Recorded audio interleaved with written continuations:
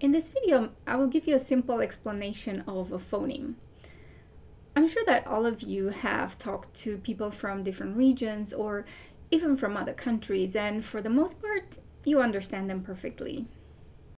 For example, if I pronounce dog or dog or dog, you will have no doubt I'm referring to something like this.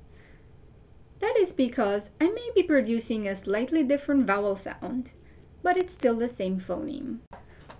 Or if I say what or what, you will understand the question word even if my t sound is not the same.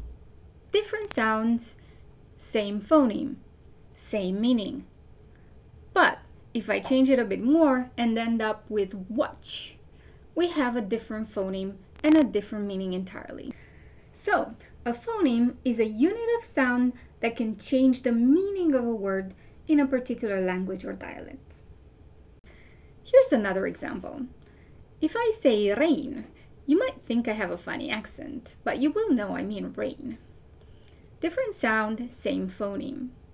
But if I say lane, you will probably think I mean this, because I used a different phoneme. However, those sounds are not different phonemes in some other languages, for example in Japanese, and can be used interchangeably. That is why when Japanese people learn English, they often have trouble getting them right. When you learn a new language, you always need to acquire some new phonemes. For instance, in Spanish, there is a difference between carro, car or cart, and caro, expensive, which might sound pretty much the same if you are a native speaker of a language which does not distinguish between those two. In conclusion, people might have various ways of pronouncing the same word, and even you might say it slightly differently from one moment to another.